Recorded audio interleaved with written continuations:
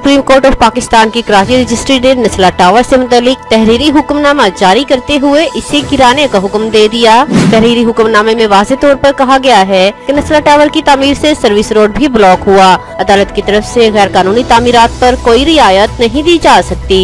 अदालत ने तमाम मुतल इदारों की दस्तावेजात का जायजा लिया और रिकॉर्ड से साबित हुआ कि नस्ला टावर कब्जे की ज़मीन पर तामीर किया गया है।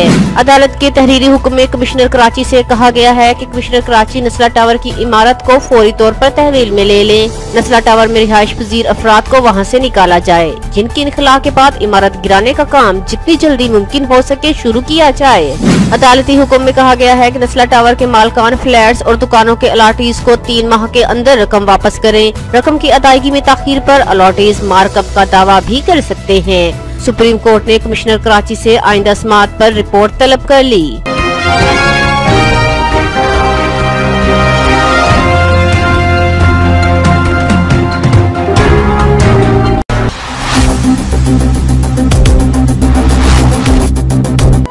कादिर मंदोखेल की फिरदोस आशिकावान के खिलाफ दरख्वास्त पर पुलिस का जवाब सामने आ गया। पाकिस्तान पीपल्स पार्टी के रुकन कौमी असम्बली कादिर मंदोखेल ने वज़ीर अला पंजाब उस्मान बुजदार की मावन खसूसी फिरदोस आशिकावान के खिलाफ थाने में इंदराज मुकदमा की दरख्वास्त जमा करवा दी।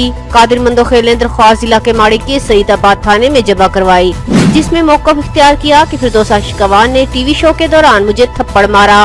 फिरदोस आशिकवान ने दौरान टीवी शो मुझे गालियाँ और धमकियाँ भी दी। कादिर मंदखोल ने दरख्वास्त में मुतालबा किया की कि फिरदोस आशिकवान के खिलाफ हिरासानी धमकियाँ और तशद का मुकदमा दर्ज किया जाए। पुलिस हुकाम के मुताबिक कादिर मंदोखेल की फिरदोस आशिकवान के खिलाफ मुकदमे की दरख्वास्त कई रोज कबल मौसू हुई थी। दरख्वास्त पर कानूनी माहिरीन ऐसी मशवरा करके कादिर मंदोखेल को जवाब दिया गया की वाक़ इस्लामाबाद में हुआ है। इसलिए मुकदमा भी वही दर्ज हो सकता है।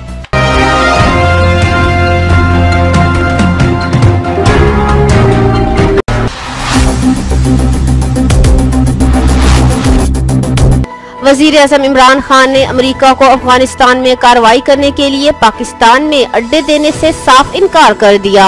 वज़ीर अजम इमरान खान ने अमरीकी टीवी को दिए गए इंटरव्यू में कहा कि अफ़गानिस्तान में एक्शन के लिए पाकिस्तानी ज़मीन इस्तेमाल करने की इजाज़त नहीं देंगे। उन्होंने ये भी कहा है कि मुमकिन ही नहीं कि हम अमेरिका को अफ़गानिस्तान में एक्शन के लिए पाकिस्तान में अड्डे दें। वज़ीर अजम इमरान खान के मुआवन खसूसी शहबाज गिल का इस हवाले से जारी किए गए बयान में कहना है कि वज़ीर अजम इमरान खान का अमरीकी टीवी को दिया गया इंटरव्यू, पीर की सुबह तीन बजे नशर होगा।